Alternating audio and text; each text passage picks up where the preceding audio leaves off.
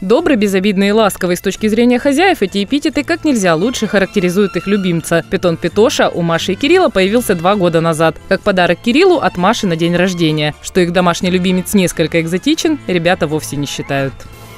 Я ж не могу, я ж теряюсь, что спросить, он меня облизывает.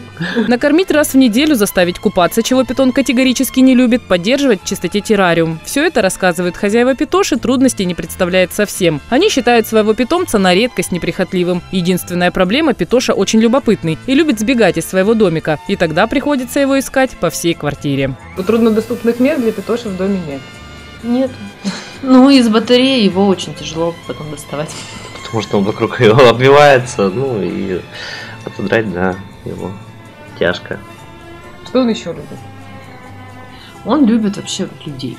Ну, потому что они... Удивительно, да, змея, да? Потому что они очень теплые, он любит тепло. В большом почете у Питоши сенсорные экраны, смартфоны и планшеты. И он уже не раз позвонил друзьям собственных хозяев. Питон, что это? Что это такое? Ну? Сенсор, вот, все. И вот он полез на сенсор, вот вызвал Светлану. Но вообще питон – зверь с характером. Если обидится, что случается справедливости ради достаточно редко, подлизываться к змее, рассказывают хозяева, приходится подолгу. Отрубилась у него дуйка, э, он замерз. Настало время кормежки, мы приходим, приносим домой мышку замороженную. Кормится, кстати, он только заморозкой, то есть живого ничего мы не даем. И начинаем давать эту мышку он ее отталкивает боком, отворачивается, сворачивается в клубок, говорит, не трогайте меня. И тогда Питошу надо всячески задабривать, общаться, гладить и согревать, потому что от еды этот вид змей может отказаться надолго, в том числе, если испытал сильный стресс. И тогда стресс приходится испытывать хозяевам, ведь животное надо накормить искусственно. Нужно было вручную открыть э, его, его ротик. ротик, вставить мышку, прикусить, э, чтобы он почувствовал еду, и тогда он же сам ее дальше проглатывает. Ну, так, не бывают случаи, то, что приходится и дальше пропихивать. Но это экстренные такие случаи. В основном он кушает хорошо. На момент покупки длина полугодовалого питоши была всего 20 сантиметров. За два года змея вымахала до 70. И это, конечно, не предел.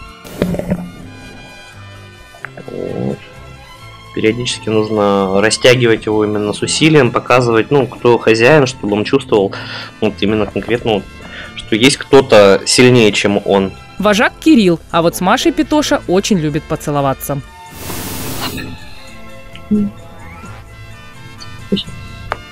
Помаду не облизни. Королевские питоны – безобидный вид, считают сами хозяева. Что любимец подрастет и может ненароком придушить, они не боятся. Максимальная длина, которая достигнет питоша, не более метра. А вот прожить в неволе животное может до 20, а то и 30 лет. Но и это не пугает молодых экстремалов. Он свободно по шее ползает, он чувствует тепло. Лапа обвивается греется, ползает. Останавливаться на одном Питоше Мария и Кирилл не собираются. В мечтах у ребят завести хамелеона. Останавливает только то, что он более прихотлив в быту и требует каждодневной кормежки. Но совсем недавно у Маши был день рождения. И какой подарок девушка хочет получить от Кирилла, она пока раздумывает. Светлана Садовая, Дмитрий Сухоруков. Новости на восьмом.